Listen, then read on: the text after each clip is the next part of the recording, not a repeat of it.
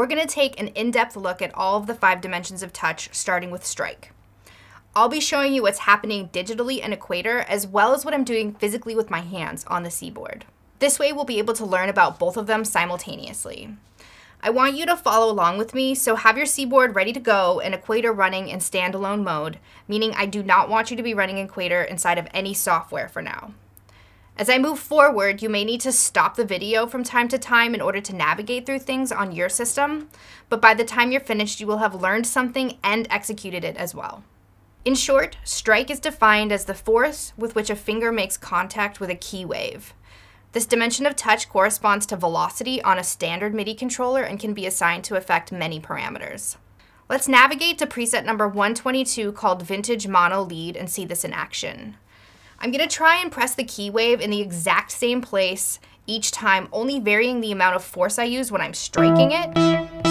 This way we can see and focus on how this one dimension of touch is working. Let's look at strike's graphical representation. Here we see an XY axis which has a diagonal slope running through it. When I hit the key wave softly, you can see that the event, highlighted with a yellow dot, lands on the diagonal line. As I strike the key wave repeatedly from softly to hard, the yellow dot moves along the diagonal line from bottom left to top right, respectively.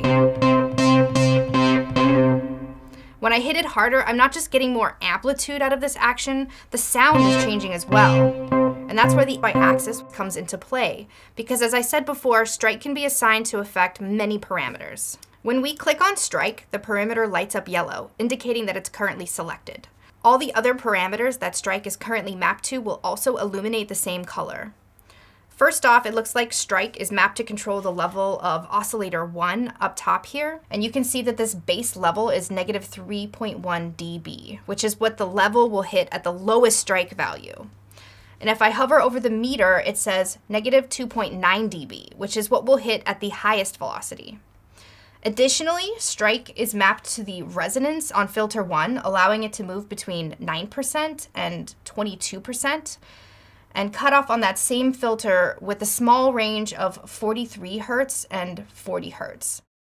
The envelopes themselves are mapped to control other parameters, which adds another layer of complexity, which we'll dive into later, but for now, let's just look at what's happening on the surface. When I vary the force with which I hit the key wave, you can see that the harder I hit it, the more those mapped parameters will jump and vice versa. So now if that's the case, if I reverse the slope on this axis, the opposite should be true. So let's give it a try and see what happens. Click on the bottom breakpoint and pull it all the way to the top. And let's do that for the other breakpoint as well, pulling it all the way to the bottom. Now the softer I hit the key, the more modulation we encounter. And the harder I hit it, the less. Let's quickly undo the slope adjustments we made, making sure that strike is still illuminated. And let's map it to yet another parameter, this time one of the audio effects. First, let's link the left and the right sides together. And then we'll turn the base value of the feedback knob down to 10%. And we'll turn the base value of the wet knob up to 5%. Then let's hover over the feedback knob. You can see that it lights up as well, indicating that it's waiting for us to map strike to this particular parameter. I'm going to click and drag up on the feedback knob until it's up around 35%. And do the same thing with the wet knob as well, but I'll put this at around 40%. So now at the lowest velocity, we'll be at 10% feedback and 5% wet on the delay and at the highest velocity we'll be at 35% feedback and 40% wet. Let's hit the key wave and see if this is the case. And yes, it is. While mapping, if we wanted to set this value back to where it was, all we would have to do is double click on the arc. You can also set a negative modulation, so let's try that as well. Let's change the base value of the wet knob to 40%. And then set the modulation from there to 0%. And let's do something similar with feedback. So I'm going to double click to reset, turn the base value up, and then set the modulation as a negative amount.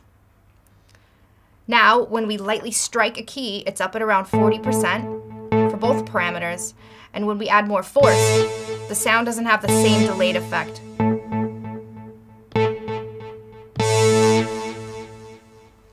At this point, I want you to find another preset which appeals to you and map strike to something or a few things if you like, and then play some patterns with velocity variations and practice your control over strike. Repeat that process a few times and see how musical you can get this one dimension of touch to be with different mappings. Just like playing a piano, the Seaboard has its own action and many layers of action at that, so practice and technique are key in how much expression and control you will get out of your Seaboard.